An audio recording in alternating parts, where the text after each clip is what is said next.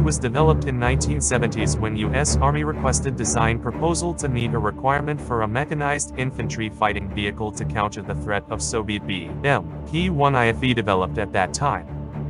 A series of designs submitted and change-ins were followed which resulted into fighting vehicle system, comprising of two vehicles, the M2, which is the standard infantry fighting version, and the M3 cavalry fighting and reconnaissance version with the M6 linebacker being an air defense version developed later to meet operational requirements.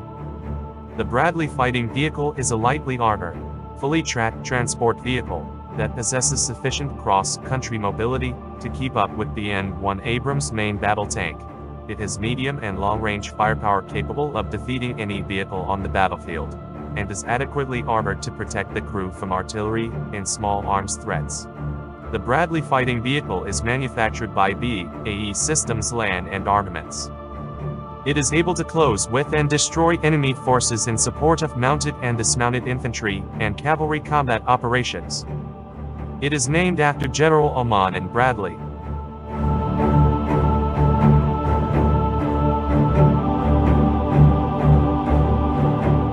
Main armament is an ATK Ammunition Systems 25mm M242 Bushmaster chain gun. 240C 7.62mm machine gun is mounted coaxially to right of the Bushmaster with 2,200 rounds and the twin-tube TOW launchers mounted on the left of the turret. The chain gun has a single barrel with an integrated dual-feed mechanism and remote feed selection. The gunner can select single or multiple shot mode. The standard rate of fire is 200 rounds a minute, but the gun is optionally converted to 500 rounds a minute. The main anti-tank weapon is Raytheon B-G M71 TOW anti-tank missile system. The target is tracked using an optical sight, which detects the infrared signal from the back of the missile in flight. A double-wire command link between the missile and the gunner is dispensed from two spools at the back of the missile. The launcher sends flight correction data to the guidance system on the missile via the command link. The range of the TOW missile is 4 kilometers.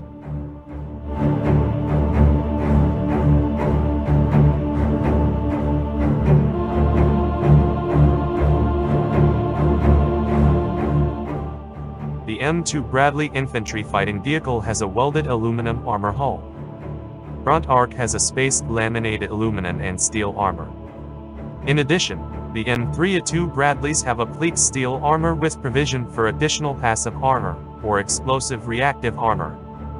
The era consists of 96 tiles fixed to the sides, turret and front of the vehicle which enhance protection against a variety of anti-armor munitions including shoulder-launched rocket-propelled grenades.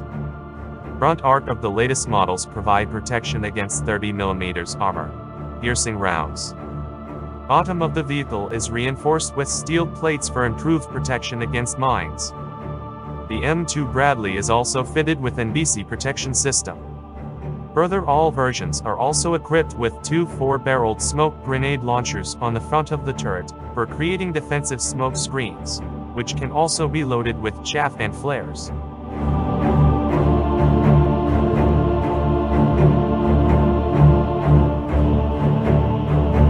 The A3 fire control software combines laser range finder, environmental readings, ammunition type, and turret control inputs that is used to elevate the gun automatically for range, and to generate a kinematic lead solution if a target is moving.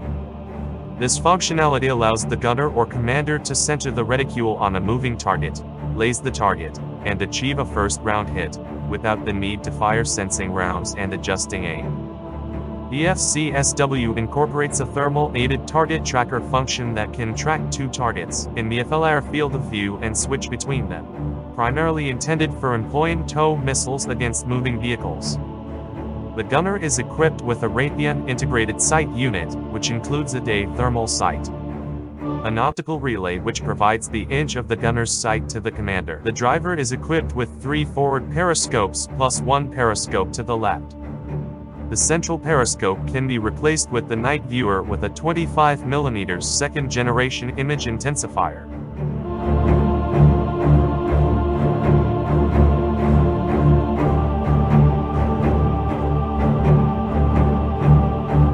Bradley is motorized with Cummins BTI 903T turbocharged diesel engine, developing 600 horsepower.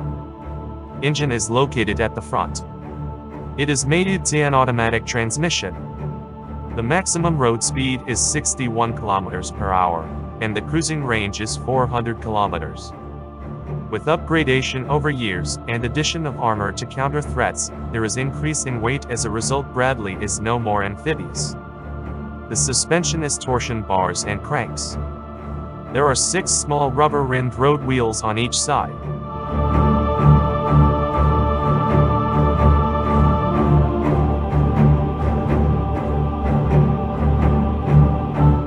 In future, the major upgrade for Bradley vehicles would be the addition of Iron Fist Active Protection System to enhance protection against anti-tank rockets and missiles. It is in service with the armies of the US and Saudi Arabia. Since 1981 around 5,000 vehicles of both types have been fielded. Just as with its predecessor, the M113 family, the Bradley will eventually be the platform for a wide range of support vehicles. Upgraded M2 Bradley ATVs are scheduled to remain in active service with the U.S. military until 2026, when a next generation will be introduced, and beyond. What are your views about this topic please mention them in comments section. Thanks for watching. If you liked the video click on thumbs up, and in the end don't forget to subscribe.